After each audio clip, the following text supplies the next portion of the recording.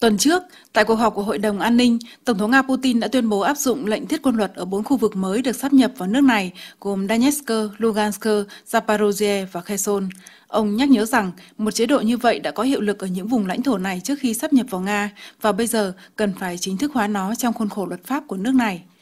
Theo chuyên gia quân sự Vasily Dadukin, thiết quân luật ngụ ý rằng mọi thứ sẽ được giao cho chính quyền quân sự. Tất nhiên, chính quyền dân sự vẫn sẽ làm việc ở đó, nhưng về mặt di chuyển của công dân, chế độ thông hành, lệnh giới nghiêm, mọi thứ sẽ được kiểm tra, kiểm soát, sẽ được quyết định bởi một quan chức quân đội cụ thể. Nếu cần thiết, người dân có thể được sơ tán khỏi vùng giới tuyến. Thực tế này đã diễn ra ở Kherson. Chuyên gia lưu ý, đây là một bước đi khó khăn nhưng cần thiết để quân đội có thể hoạt động hiệu quả và giải phóng các vùng lãnh thổ, đảm bảo an toàn cho cư dân địa phương. Điều này đã được áp dụng trong chiến tranh vệ quốc vĩ đại ở các thành phố sát mặt trận. Theo các chuyên gia, thực chất của thiết quân luật là quân đội dưới sự lãnh đạo của tướng Sergei Surovikin hiện đang trở thành chủ lực tại bốn khu vực mới của Liên bang Nga. Vì vậy, năng lực quân sự giờ đây sẽ trở nên thống trị trong việc đưa ra bất kỳ quyết định nào ở những vùng lãnh thổ này. Cụ thể, có thể có lệnh giới nghiêm, kiểm duyệt quân sự, cấm hoặc hạn chế lựa chọn nơi cư trú, cấm rời khỏi khu vực, cấm biểu tình. Ngoài ra, cư dân địa phương hiện có thể tham gia vào công việc vì mục đích quốc phòng. Trong điều kiện thiết quân luật, chính quyền của các khu vực này có thể thực hiện các quyền như tiến hành các hoạt động động viên trong lĩnh vực kinh tế, trong các cơ quan điều hành của các khu vực và chính quyền địa phương, thực hiện các hoạt động phòng thủ dân sự, thực hiện các biện pháp để đáp ứng nhu cầu của các lực lượng vũ trang Nga, các lực lượng khác, các cơ quan và nhu cầu của người dân. Phòng thủ lãnh thổ cũng đang được tiến hành ở những vùng này và các trụ sở phòng thủ lãnh thổ đang được thành lập.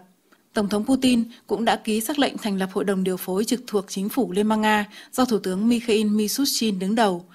Trong số các nhiệm vụ của hội đồng là thông qua các quyết định về việc cung cấp cho lực lượng vũ trang Liên bang Nga vũ khí, quân trang, phương tiện vật chất. Hội đồng điều phối sẽ xác định nhiệm vụ mục tiêu để đáp ứng nhu cầu của lực lượng vũ trang Nga trong chiến dịch quân sự đặc biệt, cũng như đặt ra thời hạn và giám sát việc thực hiện nhiệm vụ. Hội đồng cũng sẽ hỗ trợ trong việc tạo ra các cơ sở hạ tầng quân sự, phối hợp số hóa, tự động hóa và hỗ trợ thông tin và phân tích trong lĩnh vực quốc phòng, bao gồm cả quá trình tạo cơ sở dữ liệu về nguồn lực huy động.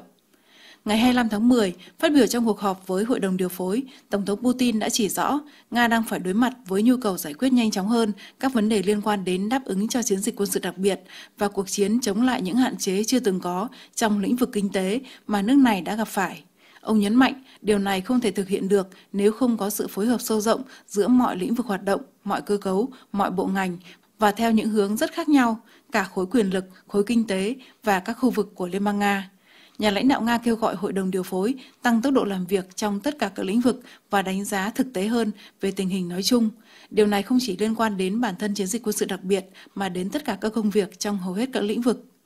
Chiến dịch quân sự đặc biệt đã kéo dài hơn 8 tháng. Nga không chỉ phải chống đỡ với các lệnh trừng phạt, mà trên thực tế, như giới chức nước này đã nhiều lần tuyên bố, họ phải chiến đấu với cả lực lượng của NATO thông qua sự trợ giúp tài chính, vũ khí, huấn luyện quân sự cho Ukraine. Mặc dù các nỗ lực hòa giải, kêu gọi đàm phán để giải quyết cuộc xung đột vẫn có, nhưng chưa đem lại kết quả. Trong khi đó, chiến sự tiếp tục leo thang với những đe dọa mới, khốc liệt hơn. Tình thế buộc Nga phải có sự chuẩn bị, động viên nhân lực, nguồn lực kinh tế, quốc phòng sẵn sàng hơn cho các kịch bản.